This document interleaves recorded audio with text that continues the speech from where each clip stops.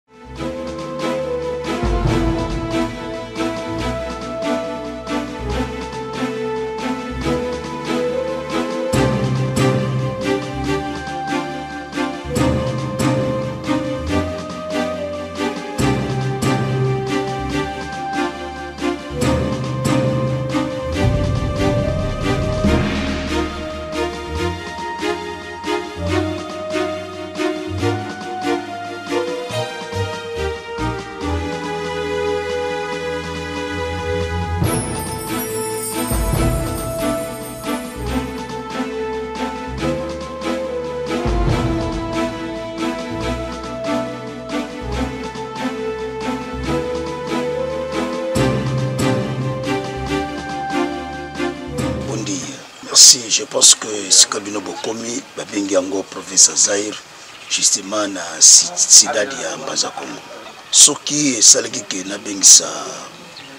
ndeko évangéliste Maku na Mbanza Congo, c'est parce que bolandaki bino moko na bililingi à partir ya Sine Africa donc euh, aza mwana oyo ngai nalakisi Jésus-Christ comme Seigneur et Sauveur aza mwana oyo nabondela nzambe mpo na ntina na ye meme euh, ye moko aza wana azoyeba nzambe na ngai asalaki grâce que mwana oyo bisika akendaki akendaki na semasa bonzambe mpe akendaki kovolue makasi na mboka ya irlande voilà pourquoi na revene na kati ya ngola akoya kosala activité moko te sans que premièrement acontacte ngai lokola père spirituel na ye alors ntango namonaki ye vraiment nazalaki très ravi de joie raison pour laquelle lokola epesamaki ke na apres mosala ya sini afrika fona ya na mboka ya mbanza congo kosala kotala mosala oyo nafungola awa ezalaki très capitaux aussi aprofite kokoma na mboka mpo ya kotala mpe ndako na moko ya ye na kati ya mbanza congo il est vrai que aye na kati ya ndako ya ye aye lokola mopaya te tout d'abord parce que aye na maboko ya papa bandeko na ye bazozela ye bakoyamba ye avec unike bien chaleureux témoignage nakopesa na monde mpona évangéliste maku tozomona lelo évangile ekoti na confusion moto azosalela nzambe ayebani tata te premier témoignage nakopesa l'évangéliste maku aza vraiment mosali ya nzambe soki azalaki mosala ya nzambe te nakokaki jamais kotémoigne ye parce que tata kaka moto atémoinaka mwana lokola mokolo moko yesu ntango azokamata libatisi nzambe azoloba ete oyo aza mwana na ngai ya bolingo boyoka ye mpe bondimela ye lokola nayebi maku aza mwana na nga yango nazopesa témoignage ne na monde entier bondima ye boyoka ye parce que aza mwana oyo abimi na division te abimi na ndenge mabe te mabimi mpe na lotomo oyo ebengami na nzambe donc aza vraiment mosali oyo nzambe apesi na mokili mpo bato babénéficie na grâce ya nzambe mpo na bandeko ya bililingi ya tv bazobenga moliere bataliador eloko na koloba na bino ete oyo bozosala nzambe akontinue kobakisa bino mayele mpe bacapacité parce que contribution na bino yango ezosala ke bato mosusu na mosika bayoka sango malamu na nzela na bino tika tv muler batalalior ekende liboso wana ezalaki lipamboli oyo topesi na bililingi oyo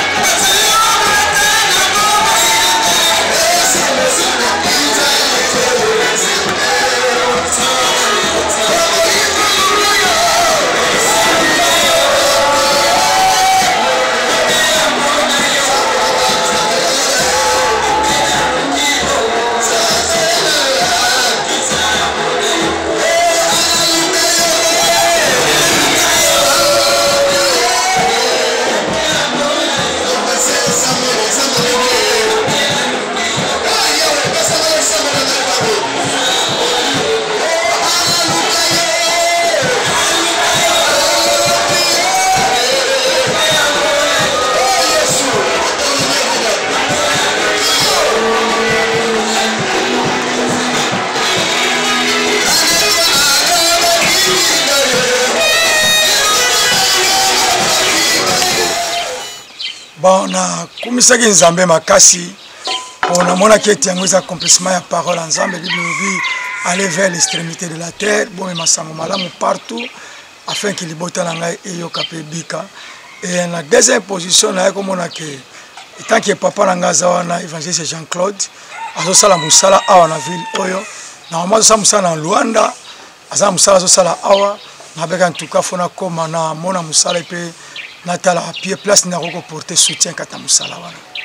en tout cas wana naloba yango ntango nyonso vraiment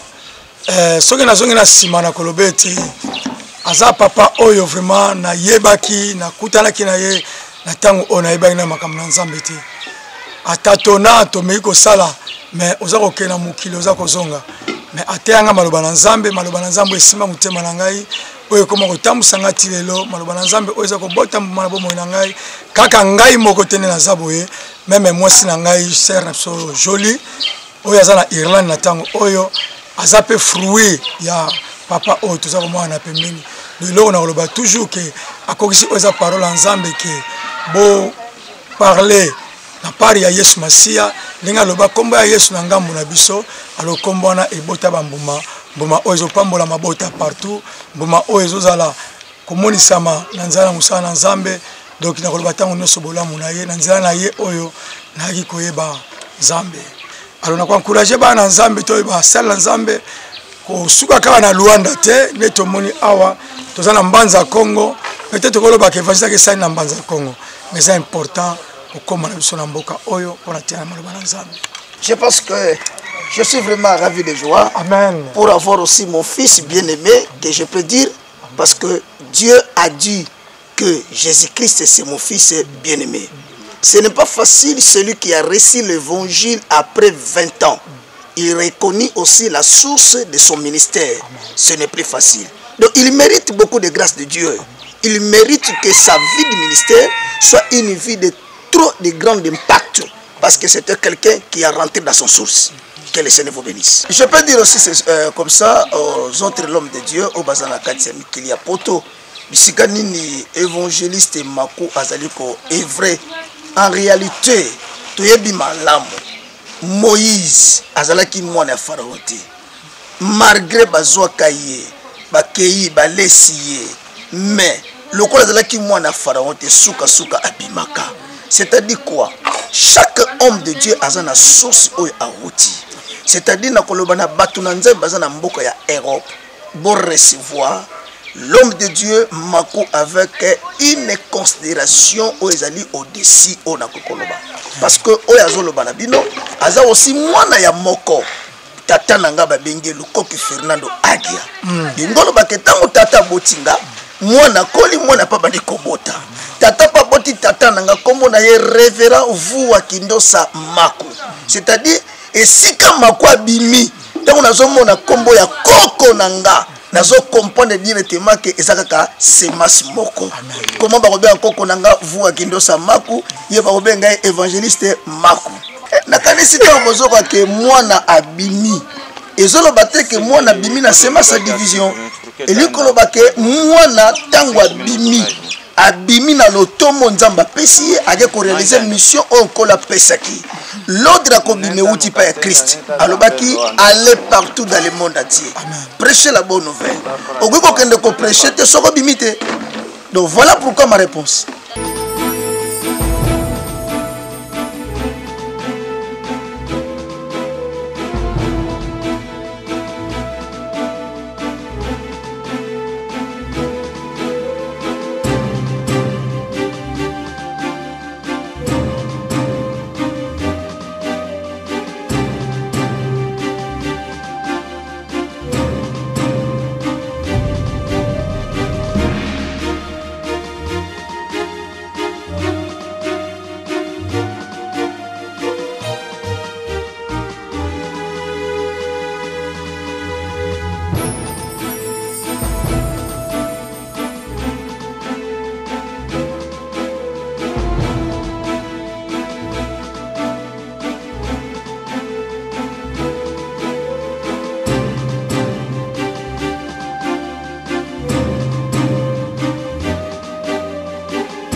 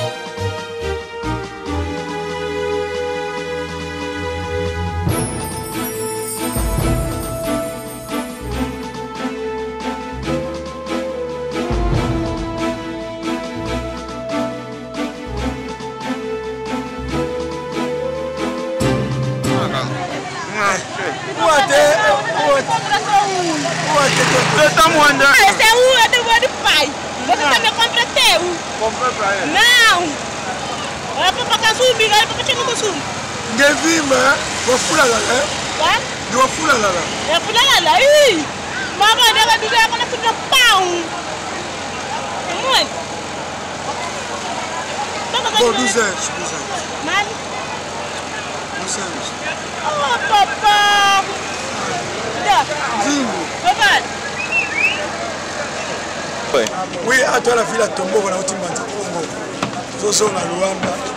telemi ana wenze mpona kotala